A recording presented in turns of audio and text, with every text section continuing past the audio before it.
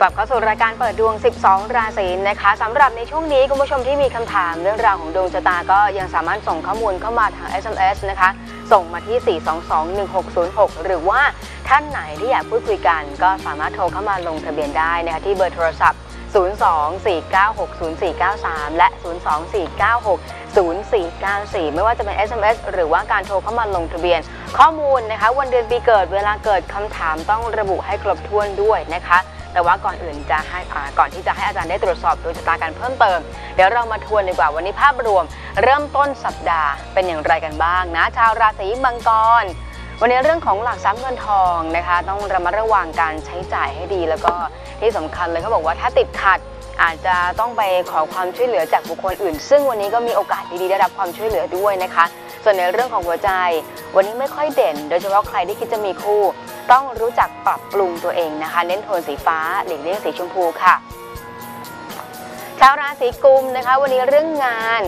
ย่าหยุดอยู่กับที่นะคะ เมื่อเสร็จภารกิจที่ได้รับมอบหมายแล้วเนี่ยก็ต้องรู้จักวางแผนในอนาคต หรือว่าลองสร้างเป้าหมายของตัวเองดูนะคะ แต่ว่าหลักทรัพย์เงินทองวันนี้ไม่ควรริเริ่มสิ่งใหม่ โดยเฉพาะใครที่คิดที่จะลงทุนขยายธุรกิจนะคะ เน้นโทนสีบรอนเงิน หลีกเลี่ยงสีเหลืองเข้มค่ะชาวราศีมีนนะคะวันนี้เรื่องของการงานมีเกณฑ์การเดินทาง ฉะนั้นก็ต้องมีการวางแผน มีการเตรียมความพร้อมของตัวเองให้ดีด้วยนะคะ ส่วนในเรื่องของหัวใจ วันนี้ถึงแม้ว่าจะมีโอกาสเลือกก็ต้องเลือกให้ดีที่สุดเน้นโทนสีชมพูหลีกเลี่ยงสีน้ำเงินค่ะชาวราศีเมษนะคะวันนี้ในเรื่องของการงาน แล้วก็รวมไปถึงเรื่องเรื่องของหลักทรัพย์เงินทองนะคะ วันนี้งานมีโอกาสประสบความสำเร็จ แต่ว่าเรื่องของเงินนะค่อนข้างกลับด้านกันมีโอกาสใช้เงินต่อเงิน มีรายได้เข้ามาก็มีรายจ่ายมากพอสมควรนะคะ เน้นโทนสีส้ม หลีกเลี่ยงสีน้ำตาลค่ะ ชาวราศีพฤษภนะคะ วันนี้หลักทรัพย์เงินทองต้องรู้จักพอใจในสิ่งที่ตัวเองมี อย่าอย่ามองว่าตัวเองนั้นขาดนะคะส่วนในเรื่องของการงานนะวันนี้ไม่เหมาะกับการแข่งขันระยะสั้น ถ้าจะต้องลงมือแข่งขันกับใคร มองเป้าหมายระยะยาวจะดีกว่า เน้นโทนสีเขียวหลีกเลี่ยงสีเลือดหมูค่ะ ชาวราศีเมถุนนะคะ วันนี้ในเรื่องของงานเก็บทุกรายละเอียดค่ะ วันนี้มีโอกาสผิดพลาดแล้วก็ที่สำคัญเลยมันจะส่งผลต่อความเชื่อมั่นในอนาคตด้วย เน้นโทนสีส้มหลีกเลี่ยงสีบลอนทองค่ะ ชาวราศีกรกฎนะคะ วันนี้ในเรื่องของอาการเจ็บป่วยในเรื่องของสุขภาพ ที่เจ็บป่วยมานานเนี่ยวันนี้ก็มีโอกาสที่จะดีขึ้นนะคะแต่ว่าเรื่องงานอดทนให้มาก อาจจะต้องมากขึ้นกว่าเดิมด้วย เน้นโทนสีเหลืองเข้ม หลีกเลี่ยงสีชมพูค่ะ ชาวราศีสิงห์นะคะ วันนี้เรื่องงานอย่าใช้อารมณ์ตัวเองเป็นที่ตั้ง โดยเฉพาะการพูดคุยกับบริวารนะหรือว่าเพื่อนร่วมงาน วันนี้อย่าใช้อารมณ์นะคะ พูดกันด้วยเหตุและผล ส่วนในเรื่องของหลักทรัพย์เงินทอง ก็มีโอกาสต้องไปแบกรับภาระแทนบุคคลอื่นถ้าหลีกเลี่ยงได้ปฏิเสธได้ก็ทำถ้าทำไม่ได้ก็อาจจะต้องมีการจัดสรรปันส่วน วางระบบระเบียบการใช้จ่ายของตัวเองให้ดีด้วย เน้นโทนสีชมพูหลีกเลี่ยงสีน้ำเงินค่ะ ชาวราศีกันนะคะ วันนี้ในเรื่องของหลักทรัพย์เงินทองไม่เหมาะกับการทำธุรกรรมร่วมกับใครนะคะทางนี้มีใครมาชักชวนนะหรือว่ามาพูดคุยเจรจาเนี่ยวันนี้พักเอาไว้ก่อนเน้นโทนสีเหลือง หลีกเลี่ยงสีเขียวค่ะ ชาวราศีต่อมานะคะสำหรับชาวราศีตุลวันนี้ในเรื่องของหลักทรัพย์เงินทองระวังคนที่เข้ามา เขาจะเข้ามาแสวงหาผลประโยชน์อย่างเดียวนะคะ ส่วนในเรื่องของหัวใจทำอะไรก็ดูไม่ค่อยจะเข้าตา สำหรับใครที่อาจจะมีคู่นะหรือว่าคิดที่จะมีคู่ เน้นโทนสีเขียวหลีกเลี่ยงสีแดงค่ะ ชาวราศีพิจิกนะคะ วันนี้ในเรื่องของงานอย่าไปฝากความหวังไว้กับใครค่ะ วันนี้อาจจะต้องลงมือทำเอง ทุกอย่างต้องยืนด้วยขาของตัวเองนะคะ ส่วนในเรื่องของหัวใจ คนที่มีคู่ระวังทำในสิ่งที่ผิด เน้นโทนสีน้ำเงินหลีกเลี่ยงสีเลือดหมูค่ะ สุดท้ายชาวราศีธนูนะคะ วันนี้หลักทรัพย์เงินทองถ้าติดขัดให้หยุดโดยเฉพาะใครที่มีธุรกิจ หรือว่าจะต้องเป็นการลงทุนวันนี้นะคะ ระวังในเรื่องของการจับจ่ายใช้สอยด้วย ส่วนในในเรื่องของการงานก็มีเกณฑ์ที่จะต้องไปเก็บเกี่ยวประสบการณ์ ไปเก็บเกี่ยวความรู้ให้มากขึ้น เน้นโทนสีชมพู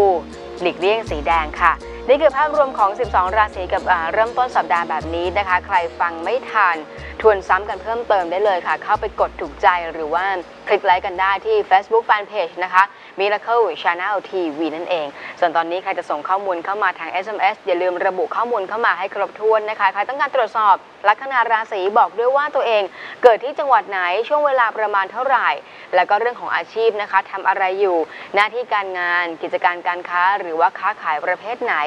ระบุข้อมูลเข้ามาให้ครบ แล้วส่งมาที่ 422-1606 มากันที่ SMS ท่านต่อมาเลยค่ะ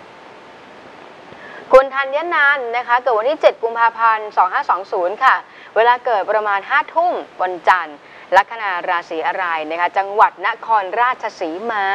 โคราช ขอไปครับ โคราชอีกหนึ่งท่านแล้วนะครับ ลัคนาสถิตอยู่ในราศีตุลนะครับ ตุลปีนี้ก็ต้องถือว่าเป็นปีแห่งการพ้นภัยนะ ถ้าเทียบกับช่วงปี 2 ปีที่ผ่านมา ซึ่งได้รับอิทธิพลจากบาปประเคราะห์ใหญ่ สถิตอยู่ในราศีเกิด ไม่ว่าจะเป็นพระราหูนะครับหรือว่าพระเสาร์แต่ว่าช่วงนี้ฝากนิดหนึ่งละกันนะครับอลิตยูเนี่ยโคจรเข้ามาเล็งดวงชะตานะก็ฝากระมัดระวังอุบัติเหตุ หรือปัญหาความสัมพันธ์กับคู่ครองคนรักด้วยนะครับ ส่วนอาชีพที่เด่นสำหรับพื้นชะตานี้ดาวศุกร์ในดวงสวยนะครับนะศุกร์ไปถึงอะไรฮะของกินสิ่งสวยงาม สินค้าแฟชั่น ตามพวกหอพักอพาร์ตเมนต์ที่มีอุปกรณ์อำนวยความสะดวกที่ครบครัน ให้กับคนที่เช่าใช้บริการ อย่างสักครู่ที่เตือนเนี่ยอุบัติเหตุต้องระวังเพราะอังคารก็เป็นกาลีด้วยในปีจรนี้ ของคุณให้คุณซื้ออมีดโกนนะที่ร้านสะดวกซื้อเนี่ยแปดอันถวายพระสงฆ์ครับ SMS ต่อมาค่ะคุณนิคมค่ะ เกิดวันที่ 23 เมษายนนะคะ 2522 เวลาเกิด 2 ทุ่ม 15 นาทีวันจันทร์ การงานค่ะเป็น PC ขายแอร์ตู้เย็นดีไหม แล้วก็ไปทำเรื่องผ่อนรถจะได้หรือเปล่า ถ้าว่ากันถึงลักษณะอาชีพเซลล์นะอาชีพงานขายเนี่ยด้วยพื้นชะตาถือว่าใช้ได้นะใช้ได้นะครับ แต่ว่าเกณฑ์ในเรื่องของอาชีพการงานแยกส่วนกันนะอันที่พูดถึงเมื่อสักครู่คืออสิ่งที่ทำแต่ว่าองค์รวมในเรื่องของงานบางทีมันอาจจะมีการเปลี่ยนแปลงโยกย้ายบ่อย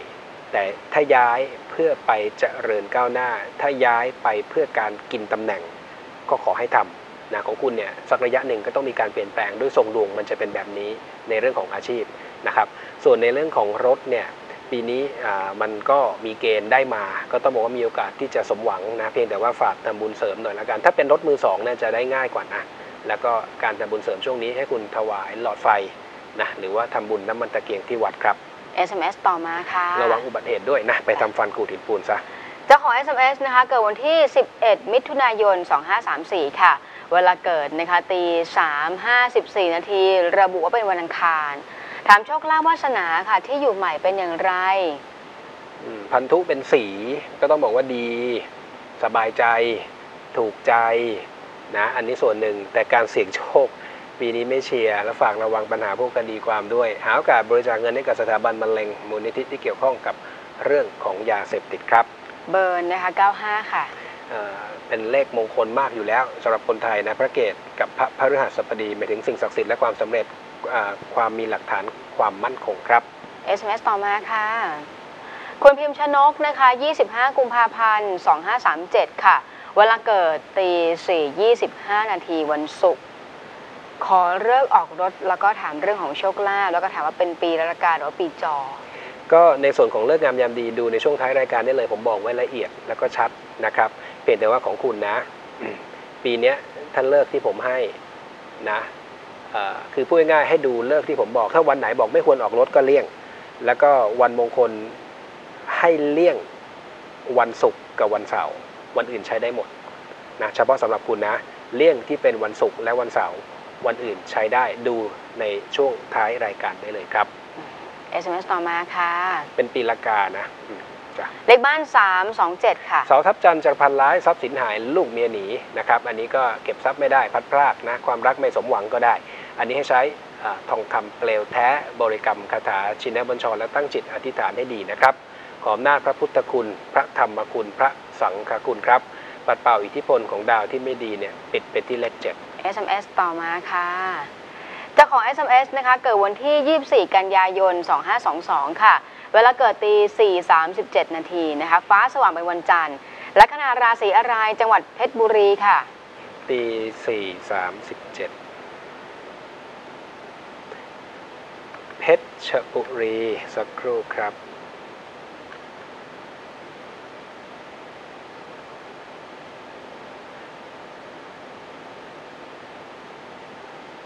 พอพาน ลัคนาสถิตอยู่ในราศีสิงห์นะครับ สิงห์ก็ต้องบอกว่าปีนี้เนี่ยตั้งใจทำทุกอย่างให้ดีๆนะครับ เพราะว่าในแง่ของดวงชะตาปีนี้ต้องบอกค่อนข้างที่จะเอื้อ พระพฤหัสเนี่ยโคจรก็มาสถิตอยู่ในราศีเกิด และเจ้าเรือนสิงห์เนี่ยก็เป็นดาวอาทิตย์เป็นคู่มิตรใหญ่นะครับ ประกอบกับพฤหัสในปีจรเนี่ยในแง่ของทักษะของคุณเนี่ยเป็นมนตรีด้วย ก็มีโอกาสที่จะได้รับผลการอุปถัมภ์ช่วยเหลือ โดยเฉพาะจากผู้หลักผู้ใหญ่ ในแง่ของการบูชานะก็ในส่วนของพระเคราะห์ที่เข้าเสวยอายุ คงเคยได้ยินคำว่าพระศุกร์เข้าพระเสาร์แทรก คนเราในแต่ละช่วงวัยจะมีพระเคราะห์หรือว่าเทวดาก็มารักษาอายุแตกต่างกัน ของคุณในช่วงเวลานี้จนถึงช่วงอายุย่าง 46 นั้น เป็นช่วงเวลาที่พระพุทธเข้าเสวยอายุนะครับ ก็ถ้าสะดวกนะ หลวงพ่อวัดบ้านแหลม นะครับซึ่งซึ่งท่านอยู่ในปางอุ้มบาทนะครับหรือว่าจะเป็นในจังหวัดก็ได้ แล้วก็อัญเชิญมาที่บ้านเขียนชื่อนามสกุลวันเดือนปีเกิดติดไว้ที่ใต้ฐานบริกรรมคาถาบูชาทุกวัน วันละ 17 จบคาถาบูชาพระพุทธนะฮะปิสัมระโลปุสัตพุทธครับ SMS ต่อมาค่ะ คุณเอมออนนะคะ 29 พฤศจิกายน 2529 ค่ะ เวลาเกิดเที่ยงคืนครึ่งนะคะ ฟ้าสว่างเป็นวันเสาร์ค่ะครับถามเรื่องความรัก สุขภาพแล้วก็มีโอกาสจะได้ลูกชายหรือเปล่า ไม่ทายว่าชายหรือหญิง เดี๋ยวนี้วิทยาการก้าวไกล เดี๋ยวตกม้า แต่เอาเป็นว่าปีนี้ปุตตะเป็นอายุลองปรึกษาคุณหมอนะ จากนี้ไปจนถึงวันเกิดเนี่ยก็หลายเดือนอยู่นะเราเรานับในช่วงปฏิสนธิเริ่มต้นในคันฉะนั้นก็ต้องบอกว่ายังพอมีเวลาปีนี้นะให้ปรึกษาคุณหมอ ในแง่ของการเลือกเพศก็ว่ากันไปเลย ส่วนความรักความสัมพันธ์ปัตตานีก็เป็นสีอยู่ และด้วยพื้นชะตาเกณฑ์เรื่องความรักผมผมว่าเหนียวนะคือคือถึงจะมีปัญหาอะไรถ้าตั้งใจประคับประคองก็ผ่านได้ สุขภาพของคุณอันนี้สำคัญ ตรวจร่างกายเพื่อเฝ้าระวังทุกปีเป็นประจำอีกกลุ่มหนึ่งพวกสายตาความดันระบบเลือดครับ SMS ต่อมาค่ะ คุณอุตสาค่ะ 22 ตุลาคมนะคะ2502 ค่ะ เวลาเกิด2ทุ่มครึ่ง วันพฤหัสบดีถามเรื่องของการเงินค่ะจ้ะสองทุ่มครึ่งการเงิน ปฏิทินตรงกับวันพระฤหัสบดีนี่ความหมายอย่างนี้ผมว่านะ น่าจะติดลูกแล้ว เพราะพุตตะเป็นอายุนะฉะนั้นก็ยินดีล่วงหน้าเลยนะครับ ส่วนในเรื่องของคำถามนี้การเงินเป็นอย่างไร กระดุมพระกาลี กระดุมพระแปลว่าตังแปลว่ารายได้ รายได้น้อย หาตังยากรายจ่ายเยอะ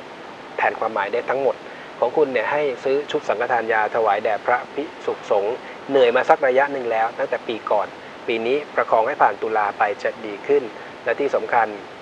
ช่วงนี้ถ้าคิดอยากจะทำธุรกรรมทางการเงินเนี่ยการกู้หนี้ยืมสินก็มีโอกาสจะสมหวังหลังวันเกิดห้ามใครขอยืมเงินเด็ดขาด SMS ต่อมาค่ะ คุณกฤษณานะคะเลขบ้าน 45 ค่ะเอ่อพุทธพฤหัสเขาบอกเป็นคู่แห่งการวางแผน เก่งทั้งทางโลกทางธรรม ถือว่าดีครับ ทะเบียนรถก็ 2459 จันทร์ชมตรูพุทธนงเยาว์เป็นคู่มิตร ส่วน 59 เนี่ยสิ่งศักดิ์สิทธิ์และความสำเร็จผ่านจ้ะ SMS ต่อมาค่ะ คุณปรีชานะคะ 13 สิงหาคม 2520 ค่ะ เวลาเกิด 11นาฬิกากว่ากว่าๆนะวันเสาร์อือฮึถามเรื่องของชีวิตคู่ส่วนเรื่องของงานเนี่ยก็ทำโรงงานน้ำตาลอยู่การทำบุญทำอย่างไร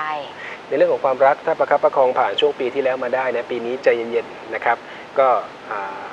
สุดท้ายแล้วมันก็จะผ่านพ้นไม่ว่าจะมีปัญหาอะไรนะถ้าเทียบกับช่วงก่อนหน้า ผมถือว่าหนักกว่านี้นะครับ ส่วนในเรื่องของการทำบุญเสริมอ๋อแต่ว่าในส่วนของงานปีนี้นะครับให้ระวังปัญหาถ้าคุณมีลูกน้องบริวารนะอาจจะมีปัญหาในแง่ของการบังคับบัญชาหรือขาดคนช่วยก็ได้นะครับรวมถึงถ้าได้รับแอสไซน์มอบหมายงานอะไรใหม่ ๆ รอบคอบหน่อยนะครับระวังมีปัญหาขัดแย้งกับผู้หลักผู้ใหญ่ด้วย ของคุณปีนี้เน้นสูงกว่าและต่ำกว่า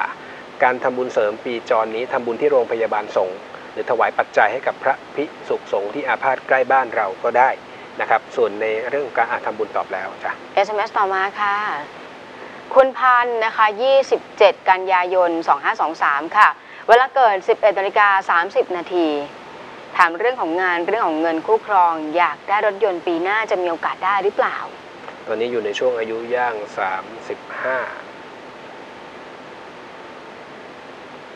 สักค รู่นะครับ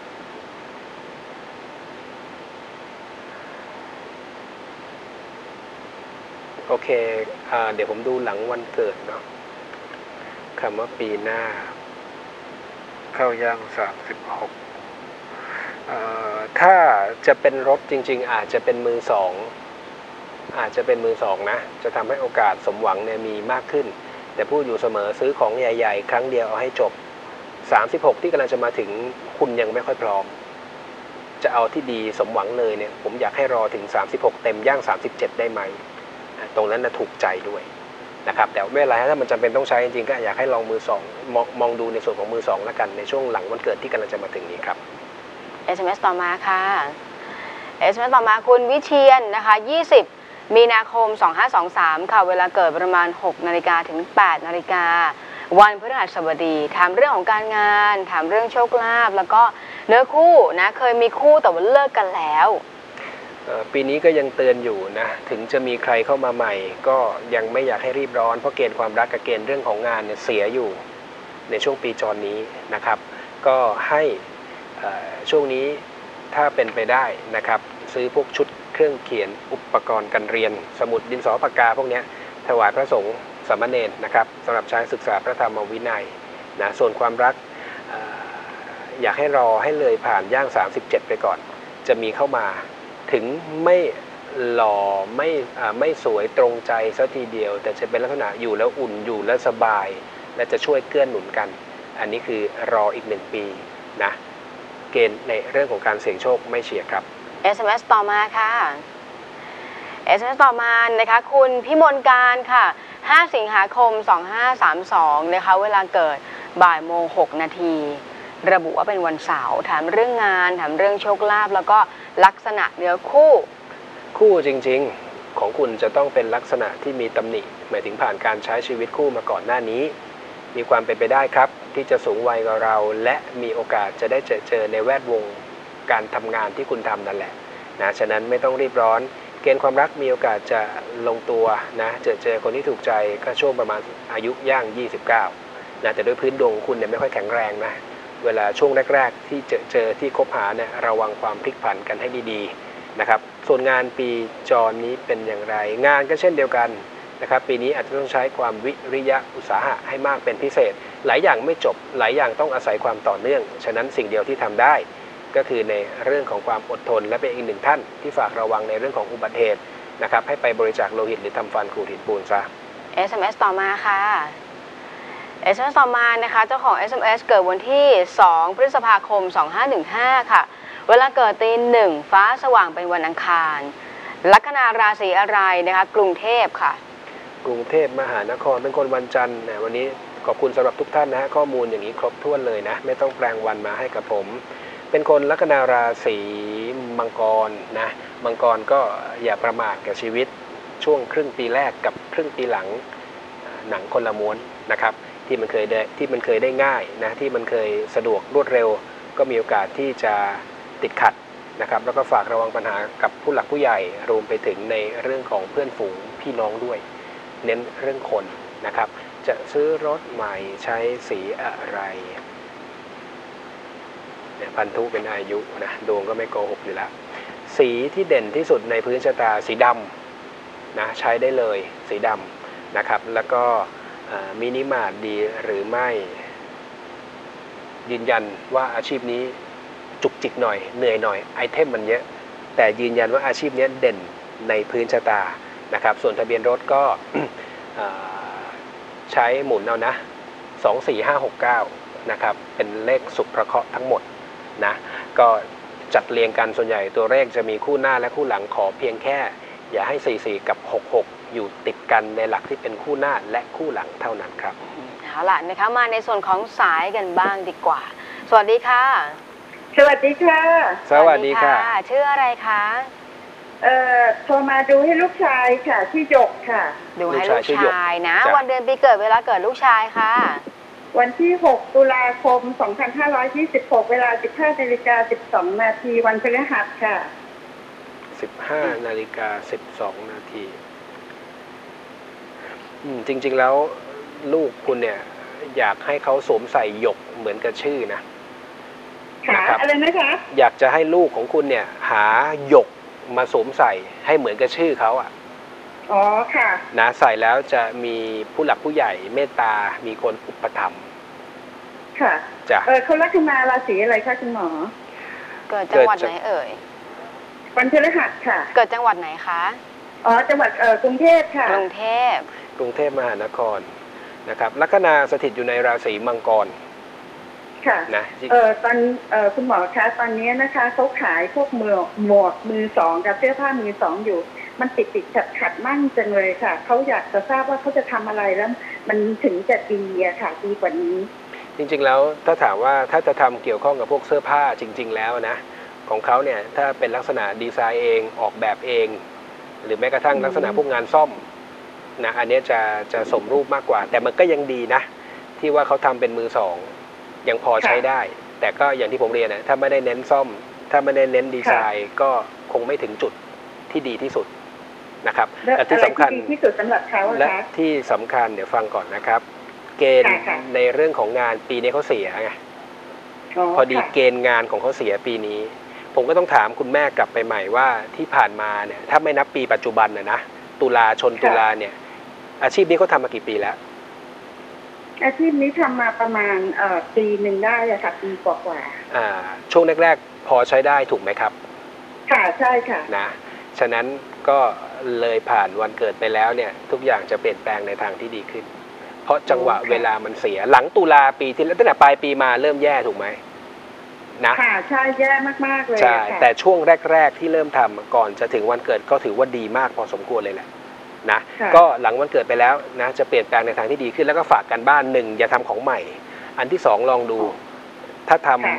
ลักษณะที่แบบดีไซน์ใส่ความคิดสร้างสรรค์ลงไป อย่างหมวกผมเห็นหลายอย่างนะจะมีหมวกประดิษฐ์ มีการเติมอะไรเข้าไปอย่างเงี้ยอันเนี้ยจะทำให้มันสมรูปมากขึ้น เหมือนตกแต่งเพิ่มใช่ใช่ไหมคะถูกต้องครับ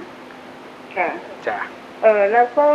จะให้เขาทำบุญเสริมแก้อะไรพวกนี้ยังไงบ้างก็ได้ช่วงบ้ไหมช่วงนี้คะทั้งงานทั้งเงินเขาไม่ค่อยดีแหละเหมือนกันนะให้เขาไปปล่อยปล่อยปลาเดือนละสิบตัวแล้วกัน จนถึงวันเกิด เดือนละสิบตัวนะคะอ่าจนถึงวันเกิดค่ะครับ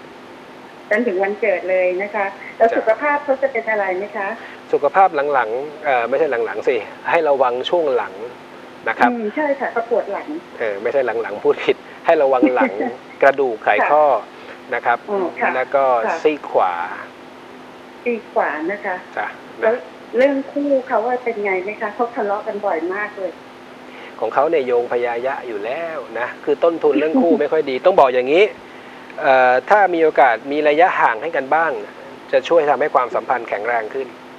อืมค่ะ นะค่ะถ้ามีระยะห่างให้กันบ้างนะก็ให้เขาเอาไปทำบุญเสริมอย่างที่เรียนแล้วก็หลังวันเกิดไปแล้ว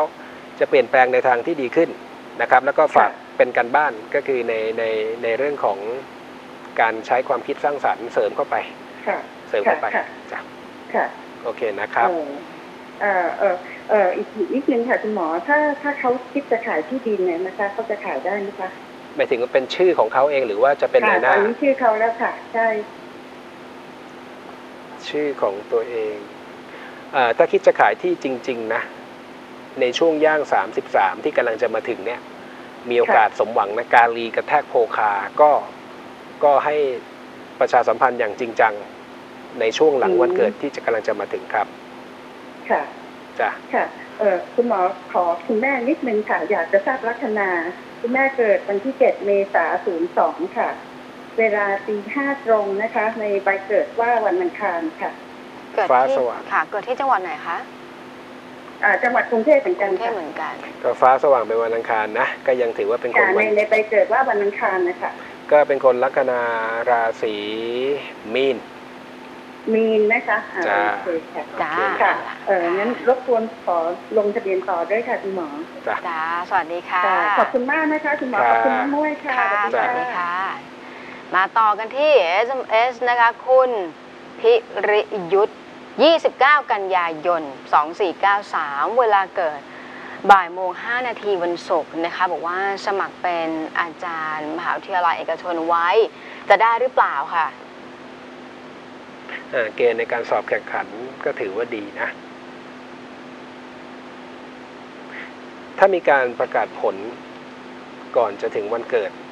ก็ถือว่ามีโอกาส นะเพียงแต่ว่าถึงแม้ว่าจะชวดไม่ได้ในช่วงเวลานี้ก็อย่าเพิ่งถอดใจหลังวันเกิดเนี้ยก็พยายามหา connection นะครับในความหมายเนี่ยผมก็พอจะนึกภาพว่าอย่างยิ่งถ้ามี connection กับผู้หลักผู้ใหญ่ในสถาบันการศึกษาแห่งต่างๆ อย่างเงี้ยมีโอกาสนะครับ แล้วก็ต้องบอกว่าอาชีพการสอนอในระดับอุดมศึกษาเนี่ยโดยเฉพาะไม่ว่าจะเป็นที่ปรึกษาหรือแม้กระทั่งอาจารย์ประจำ ดีมากๆนะ แล้วมันอาจจะเป็นอาชีพอ่าหลักที่ดีมากกว่าตลอดชีวิตการทำงานก่อนเกษียณที่ผ่านมาก็ได้ สมหวังและได้เป็นเพียงแต่ว่าควรขวายใช้คอนเน็ชันให้เกิดประโยชน์เท่านั้นครับ SMS ต่อมาค่ะ คุณภัยรัตน์นะคะ เบอร์โทรศัพท์ 70 ค่ะ 70 เนี่ยคิดเยอะคิดลบเครียด ความพลิกผันอ่าแม้จะมีความสร้างสรรค์บ้างนะ แต่ก็ต้องบอกว่าดูแล้วน่าเป็นห่วงนะครับ เปลี่ยนเถอะครับอ่า ให้ใช้ขยับมาเป็นคู่มิตรดีกว่าทำอะไรจะได้มีคนรักคนเมตตาใช้ 51 ก็ได้นะครับส่วนเลขบ้านก็ 4101อ่าก็ความพลิกผันภาระก็ได้นะครับอันนี้ใช้ตรงคำเปลวแท้ปิดที่เลขศูนย์ส่วนทะเบียนรถ 2929 ค่ะอ่าโอ้สวยด้วยนะครับ ก็เป็นเลขประมูล 29 เสน่ห์และความสำเร็จครับ SMS ต่อมาค่ะ คุณเพียงฤทัยนะคะ 29 สิงหาคม 2513 เวลาเกิดบ่าย 2 โมง 10 นาที วันเสาร์ลัคนาราศีอะไรจังหวัดสกลนครค่ะ สกลนคร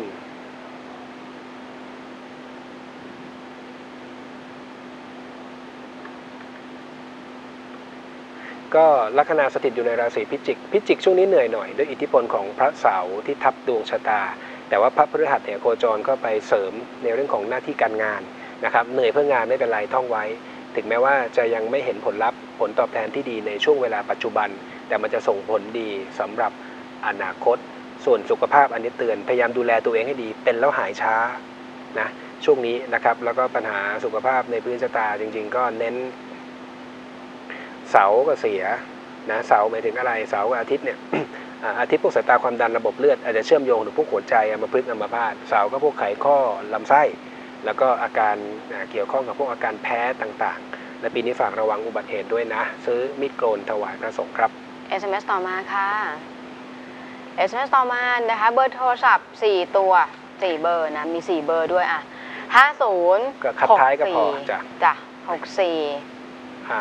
า50กับ64เนี่ยถือว่าดีทั้งคู่นะ50ก็เอื้ออำนวยต่อความสำเร็จ มีหลักฐานความมั่นคง 64 เป็นพุทธสุขคือคู่ธาตุน้ำครับ 13 แล้วก็ 99 ค่ะ แต่ใช้ได้หมดเลยนะหนึ่งสามมหาอุด เจ้าคนในายคนหัวหน้างาน เจ้าของกิจการก็ได้ แข่งกับใครก็ไม่แพ้ 99 ก็จะสำเร็จอย่างน่าสัศจรรย์และจะได้รับพลังจากสิ่งศักดิ์สิทธิ์ แต่แปลกใจทำไมต้องใช้ถึงตั้ง 4 เบอร์ครับ SMS ต่อมาค่ะ SMS ต่อมาคุณคุณถาวรีนะคะ3พฤษภาคม 2515 เวลาเกิด 18นาฬิกา13 นาที พุธกลางคืนค่ะ ถามถึงสุขภาพ ส่วนลูกๆเนี่ยเป็นอย่างไรบ้างแล้วก็โชคลาภด้วยถ้าช่องท้องก็จะเน้นกระเพาะ เน้นการทำงานของตับนะครับ แล้วก็อีกกลุ่มหนึ่งก็เสาไม่ถึงอะไรฮะพวกลำไส้ อาการแพ้การทำงานของพวกระบบประสาทรวมถึงพวกไขข้อโรคเกาต์พวกนี้ให้ระวังนะครับ แล้วก็ปัญหาพวกกล้ามเนื้อ อันนี้คือเป็นเป็นปัญหาสุขภาพในระยะยาวนะครับ ส่วนในเรื่องของลูกๆของคุณเนี่ยกับบุตรหลานมีระยะห่างให้กันบ้างนะนะครับอยู่ห่างๆอย่างห่วงๆในแง่ของความสัมพันธ์จะแข็งแรงขึ้น อย่าไปจุกจิกจู้จี้อะไรกับเขามาก แต่การเสี่ยงโชคนั้นไม่เด่นครับ SMS ต่อมาค่ะ SMS ต่อมานะคะคุณประทุมค่ะ เลขบ้าน 4101 ซีหนึ่งบอกว่าเป็นเลขแห่งความสำเร็จนะแต่ศูนย์หนึ่งเนี่ยอย่างที่ผมเรียนเมื่อสักครู่เลย ให้ใช้ตรงคำเปลวแท้เนี่ยปิดที่เลขศูนย์ส่วนรถนี่ก็ 2929น่าคุ้จะคนนเลยเดิมนะก็ดีทั้งคู่หน้าคู่หลังแต่เบอร์โทรขยับอันนี้ส่งเข้ามาใหม่นะก็ขยับเป็น 36นะเป็นคู่มิตรสำหรับเบอร์โทรนะครับ อะและช่วงหน้าค่ะคุณผู้ชมยังสามารถส่งข้อมูลเข้ามาทาง SMS นะคะ ให้อาจารย์ได้ตรวจสอบดวงชะตาการ อย่าลืมระบุข้อมูลเข้ามาให้ครบ ส่งมาที่ 4221606 รวมไปถึงเราจะมาฟังเรื่องราวของเรื่องงามยามดีวันมงคลกันด้วยพักกันสักครู่ค่ะครับ